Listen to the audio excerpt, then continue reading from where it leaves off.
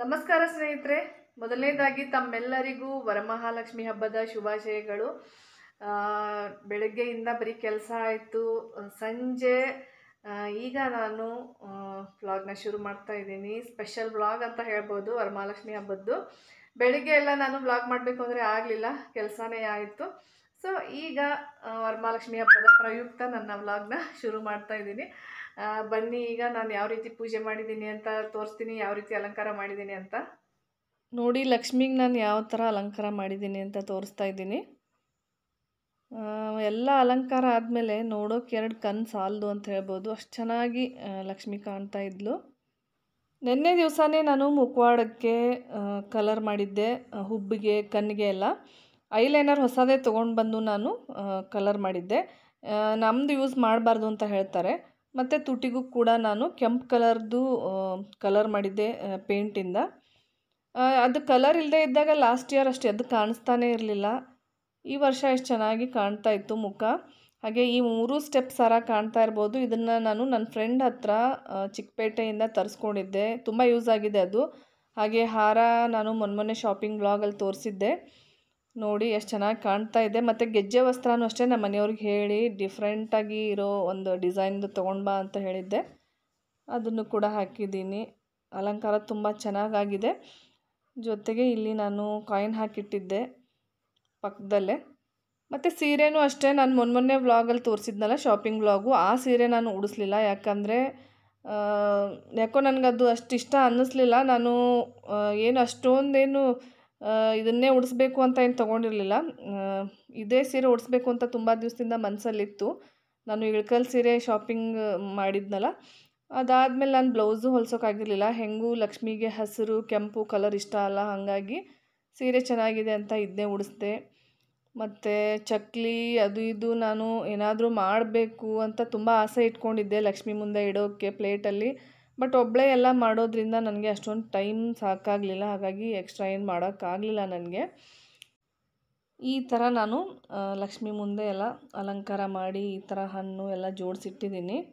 ಮತ್ತು ಮಧ್ಯಾಹ್ನಕ್ಕೆ ನಾನು ಹೋಳಿಗೆ ಮಾಡಿದ್ದೆ. ಅನ್ನ, ನುಗ್ಗೆಕಾಯಿ ಸಾಂಬಾರು, ವಡೆ, ಮತ್ತು ಕೋಸಂಬರಿ ಇಷ್ಟೆಲ್ಲ ನಾನು ಮಧ್ಯಾಹ್ನ ಅಡುಗೆ ಮಾಡಿದ್ದೆ. ಒಂದು ಮಿಸ್ ಆಯಿತು.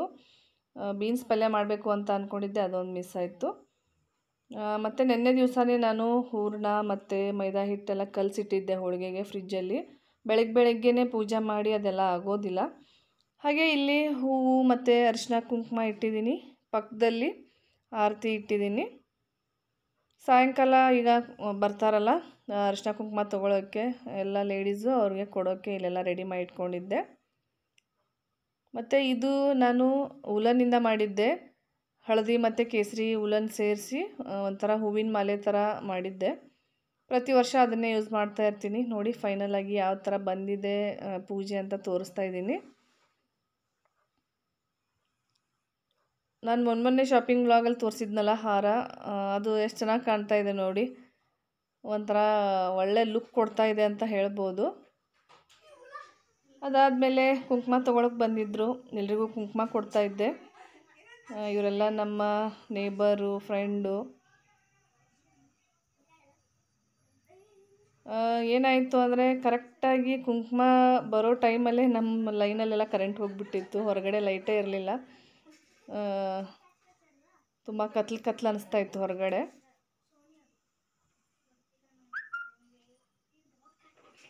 ನನಗೆ ಸೀರೆ ಉಡಿಸೋದು, ಎಲ್ಲ ಡೆಕೋರೇಷನ್ ಮಾಡೋದು ವಿಡಿಯೋ ಮಾಡಬೇಕು ಅಂತ ತುಂಬ ಆಸೆ ಇಟ್ಕೊಂಡಿದ್ದೆ ಬಟ್ ಕೆಲಸದ ಗದ್ದಲಲ್ಲಿ ನನಗೆ ಅದನ್ನೆಲ್ಲ ಮಾಡ್ಕೊಂಡು ಕೂತ್ಕೊಳ್ಳೋಕ್ಕಾಗಲಿಲ್ಲ ಅದನ್ನೆಲ್ಲ ಮಾಡಬೇಕು ಅಂದರೆ ಈ ಕಡೆ ಕೆಲಸ ಬೇಗ ಬೇಗ ಆಗಲ್ಲ. ಹಾಗಾಗಿ ಅದೊಂದು ಮಿಸ್ ಆಯಿತು. ಅದೊಂದು ಮಿಸ್ ಮಾಡ್ಕೊಳ್ತಾ ಇದ್ದೀನಿ. ಆಗಲಿಲ್ವಲ್ಲ ಅಂಥೇಳಿ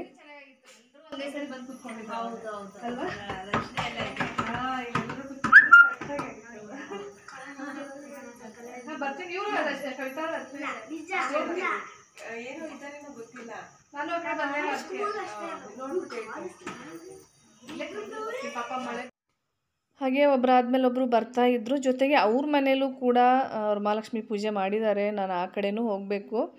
ಕೆಲವೊಬ್ರು ಏನು ಮಾಡ್ತಾರೆ, ನಾನು ಕರೆದಿರ್ತೀನಲ್ಲ, ಬೇಗನೆ ಐದು ಗಂಟೆಗೆ, ಆರು ಗಂಟೆಗೆ ಬಂದು ಅವ್ರ ಕುಂಕುಮ ತೊಗೊಂಡು ಹೋಗಿಬಿಡ್ತಾರೆ ಫ್ರೀ ಆಗಿಬಿಡ್ತಾರೆ. ಅದು ಒಳ್ಳೆಯದು ಅಂತ ಅನಿಸುತ್ತೆ. ನಾನೇನು ಮಾಡ್ತೀನಿ, ಎಲ್ಲ ಮುಗಿಸ್ಕೊಂಡು ಲಾಸ್ಟ್ ಅವ್ರ ಮನೆ ಹೋಗೋಕ್ಕೆ ಒಂಬತ್ತುವರೆ, ಹತ್ತು ಗಂಟೆ ಆಗಿಬಿಟ್ಟಿರುತ್ತೆ ಪ್ರತಿ ಸಾರಿ. ಈ ಸಾರಿ ಹಾಗೆ ಅಂದ್ಕೊಂಡೆ ಬಟ್ ಆಗಲಿಲ್ಲ ಬೇಗ ಹೋಗೋಕ್ಕೆ ಇನ್ನು ಆ ಕಡೆ ಎಲ್ಲ ನಾನು ಹೋಗಬೇಕು. ಈಗ ಎಲ್ಲ ಬರ್ತಾ ಇದ್ರು. ನನ್ನ ನಂಬರ್ ಇಲ್ಲ ಕಣ್ರಿ ಅಂತ ಹೇಳ್ತಿದ್ರು. ಅದಕ್ಕೆ ನಾನು ಮೇಡಮ್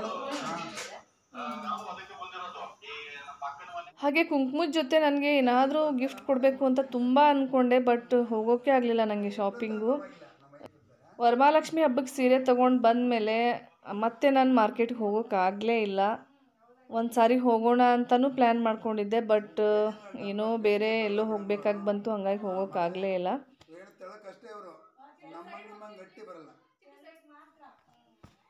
ಹಾಗೆ ಈ ಆಂಟಿ ಕೂಡ ನಮ್ಮ ಪಕ್ಕದ ಮನೆಯಲ್ಲೇ ಇರೋದು.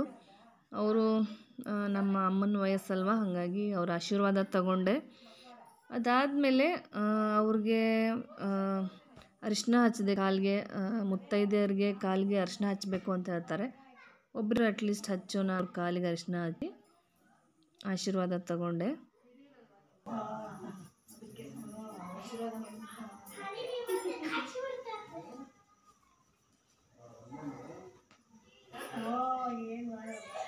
ಏನೋ ಒಂದು ಅಕ್ಕಪಕ್ಕ ಸೌಂಡ್ ನೀವು ಹೋದ್ರೆ ಇನ್ನು ಯಾರು ಇದ್ದಾರೆ? ಬೀದಿಯೆಲ್ಲ ಖಾಲಿ ಖಾಲಿನೇ. ಅದೇ ಅವ್ರು ಅಂತ ಇದ್ರು. ಅಲ್ಲಿ ಡಾಕ್ಟ್ರು ಹೋದ್ಮೇಲೆ ಇದೇ ಇಲ್ಲ. ನೀವಿದ್ದಾಗ ಅವಾಗ ಬಂದು ಮಾತಾಡ್ತೀವಿ ಜನ ಇದ್ದಾರೆ ಅನ್ನೋದೇ ಗೊತ್ತಾಗಲ್ಲ ನೀವು ಹೋದ್ರೆ. ಅದೇ ಅವ್ರು ಡಾಕ್ಟ್ರು ಏನು ಅಂತಾರೆ? ಇರೋರಿಗೆ ನೀವಿರೋರಿಗೆ ಸ್ವಲ್ಪ ಮಾತಾಡ್ತೀರಾ ಬರ್ತಾ ಇದ್ದೀರಾ? ಈಗ ಯಾರು ಬರಲ್ಲ ಅಂತ. ಪಕ್ಕದ ಮನೆ ಸ್ವಲ್ಪ ಪಕ್ಕದ ಮನೆಯವರಂತೂ ಬರೋದೇ ಇಲ್ಲ ಬರೋದೇ ಇಲ್ಲ ಅಂತ. ಹಾಗೆ ಇವರು ನನ್ನ ಫ್ರೆಂಡ್ ರಜನಿ ಅಂತ ಅವರು ಪ್ರೆಗ್ನೆಂಟ್ ಇದ್ದಾರೆ ಜಸ್ಟ್ ಅರಿಶಿನ ಕುಂಕುಮ ಕೊಟ್ಟೆ. ಅವ್ರಿಗೆ ಕಾಯಿ ಎಲೆ ಆ ಥರ ಉಡಿ ತುಂಬಾರ್ದು. ಕೆಲವೊಂದು ಕಡೆ ಕೆಲವೊಂದು ಪದ್ಧತಿ ನಮ್ಮೂರ ಕಡೆ ನಾವೆಲ್ಲ ಆ ಥರ ಉಡಿ ತುಂಬೋದಿಲ್ಲ. ಹಾಗಾಗಿ ನಾನು ಅವ್ರಿಗೆ ಜಸ್ಟ್ ಅರಿಶಿನ ಕುಂಕುಮ ಕೊಟ್ಟೆ. ಕೆಲವೊಬ್ರು ಕೊಡ್ತಾರೆ.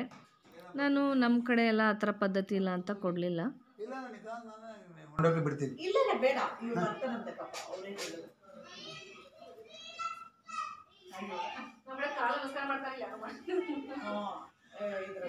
ಬನ್ನಿ ಹೋಗೋಣ.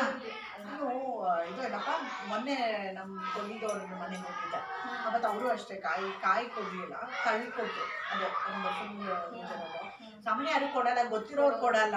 ನಮ್ಮ ಕಡೆ ಉಡಿ ತುಂಬಲ್ಲ. ಕರೆಕ್ಟ್ ಅದೇ ಹೊಟ್ಟೆ ಒಳಗಡೆ ಇದ್ದಾಗ ಆಮೇಲೆ ಪೂಜೆ ಗೀಜೆಗೂ ಅಷ್ಟೇ ಅಷ್ಟೊಂದು ಇದು ಮಾಡಲ್ಲ. ಬರ್ತೀನಿ ಅಂದ್ರಲ್ಲ ನಾನು ಆಂಟಿನ ಕರ್ಕೊಂಡು ಬರ್ತಾ ಇದ್ರೆ ಅನ್ಕೊಂಡೆ. ಕಲ್ ಕರ್ಸಿ ರಜನಿ ಕುಂಕುಮ ತೊಗೊಂಡು ಹೋಗ್ತಾ ಇದ್ರು ಮನೆಗೆ. ನಾನು ಅವ್ರ ಜೊತೇಲಿ ಹೋಗ್ತಾ ಇದ್ದೆ. ಯಾಕಂದರೆ ಒಂಬತ್ತು ಗಂಟೆ ಆದ್ರೂ ಇನ್ನೂ ನಾನು ಯಾರ ಮನೆಗೂ ಕುಂಕುಮ ತೊಗೊಳಕ್ಕೆ ಹೋಗಿರಲಿಲ್ಲ. ತುಂಬ ಲೇಟಾಗಿತ್ತು ತುಂಬ ಮನೆಯೂ ಇದ್ವು. ಎಲ್ಲರ ಮನೆಗೂ ಹೋಗಬೇಕಿನ್ನು. ಜಸ್ಟ್ ಈಗ ಡ್ರೆಸ್ ಚೇಂಜ್ ಮಾಡಿದ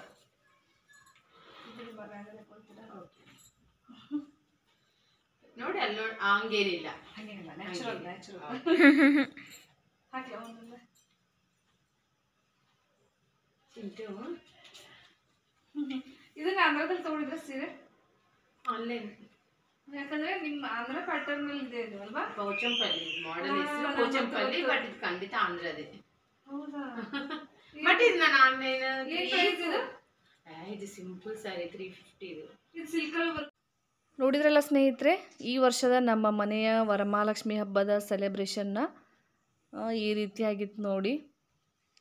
ನಿಮ್ಮೆಲ್ಲರಿಗೂ ಈ ವರ್ಷದ ನಮ್ಮ ಮನೆಯ ವರಮಹಾಲಕ್ಷ್ಮಿ ಹಬ್ಬದ ವ್ಲಾಗ್ ಇಷ್ಟ ಆಗಿದೆ ಅಂತ ಅಂದ್ಕೊಳ್ತೀನಿ ತುಂಬ ದೊಡ್ಡ ವ್ಲಾಗ್ ಅಂತೂ ನನಗೆ ಮಾಡೋಕ್ಕಾಗಲಿಲ್ಲ. ಜಸ್ಟ್ ಒಂದು ಸ್ಮಾಲ್ ವ್ಲಾಗ್ ಮಾಡಿದ್ದೀನಿ ನಿಮ್ಮೆಲ್ರಿಗೂ ಇಷ್ಟ ಆಗಿದೆ ಅಂತ ಅಂದ್ಕೊಳ್ತಾ ಇವತ್ತಿನ ವ್ಲಾಗ್ನ ನಾನು ಎಂಡ್ ಮಾಡಬೇಕು ಅಂತ ಅಂದ್ಕೊಂಡಿದ್ದೀನಿ ಜೊತೆಗೆ ಸ್ವಲ್ಪ ಲೇಟ್ ಆಯಿತು ನಾನು ವರಮಹಾಲಕ್ಷ್ಮಿ ಹಬ್ಬದ ವ್ಲಾಗ್ನ ಅಪ್ಲೋಡ್ ಮಾಡೋಕ್ಕೆ.